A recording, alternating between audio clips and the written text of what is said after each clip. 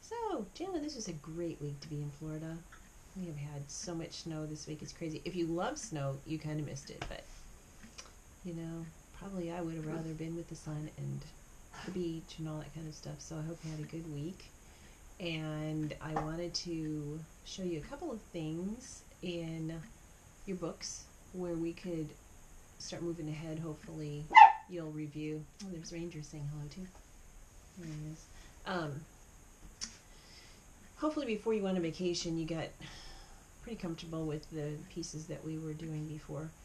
These are, if you can try to get to them before your lesson, it's great. If you can't, these videos will stay on here for a while so you'll be able to access them. So in your lesson book, I wanted to, well, both of the first, for this first video, because there will be a couple of short videos, and they'll be numbered. So hopefully you're watching this one and I've numbered it one. First thing I wanted to do was talk a little bit, remember we're playing in a new key, the key of G, where we have an F sharp in the key signature.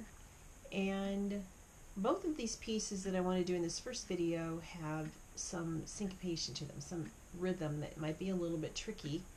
The Duke of York is just a traditional folk song, but what they've done is, in fact, they did they changed it from the first edition. They didn't have it all jazzy like this, and then they've jazzed it up. So it's kind of fun, um, and I don't think you're going to have trouble with the syncopation in it. Sometimes I will go back to the first edition and give students this song just straight through without the ties and things.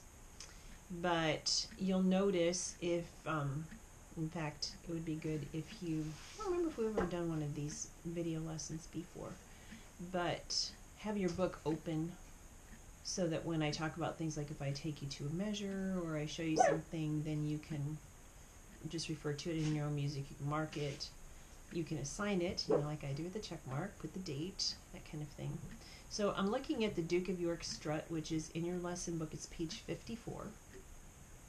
And I wanted to show you a couple of these measures um, where you get the syncopated rhythm. Now the left hand rhythm is like a pattern, so it's going to be the same. So if I start a measure five, you're going to have your basic chords, and this would be a good opportunity for you to review how to label them.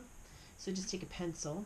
You'll see that in this book I have labeled them for whoever. I think this is a used book from somebody. I don't know if you can see that well, but I've underneath with the pencil I've just done either a one or a four or five seven because part of what I want you being able to do is to recognize the chords both in their root position like the stacked up and in the broken position which is going to be an, another video after this. I want to show you something with that with the next song, the canoeing song.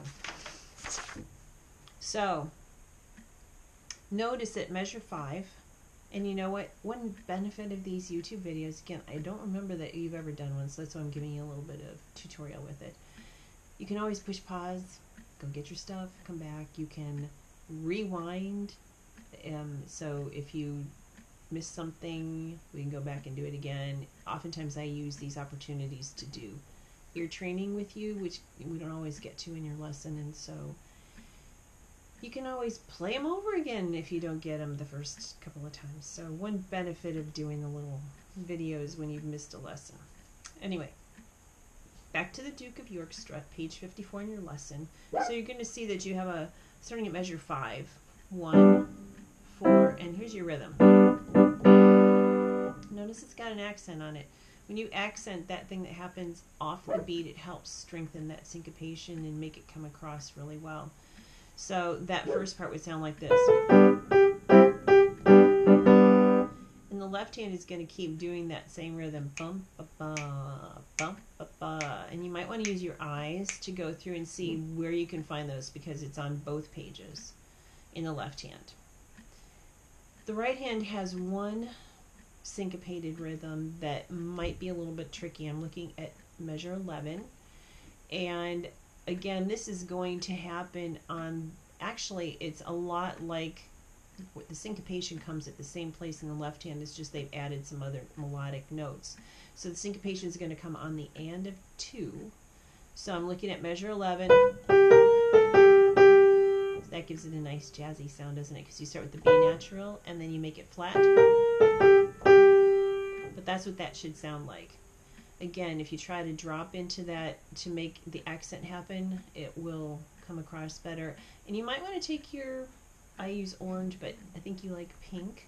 You have a pink highlighter. You might want to just go over those little accent marks with your highlighter so they'll jump out at you and you'll remember to do that. Um, I'd also like you to look at in your performance book. Everybody loves Saturday night. It too is a little bit on the jazzy side. It doesn't have any of those tie over syncopations, but what it does is it puts a rest on the beginning of beat three. Ranger's all about that. And so that rest kind of makes things feel like you've got a syncopation. So let me just play the beginning of that for you. Normally, what I do, if you and I were sitting in the same room together, we would kind of clap out like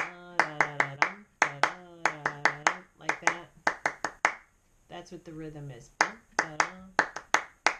So that happens one, two, three, four, five, six times in the left hand, and at the end of the song, the left hand will say it and then the right hand will answer it.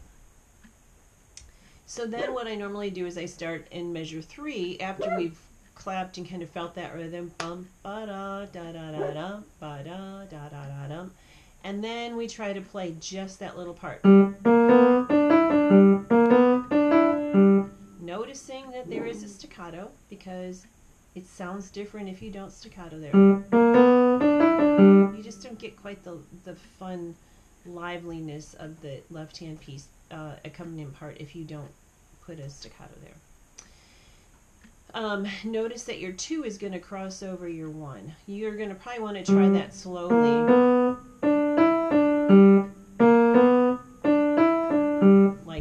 So you might want to pause and try that and then come back to the video.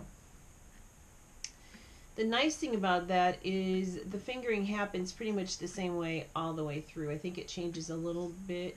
Um, no, I think it's all, it, every time you do that pattern, that's the same. So once you get the fingering for that at the beginning, you're just going to apply that throughout the rest of the piece.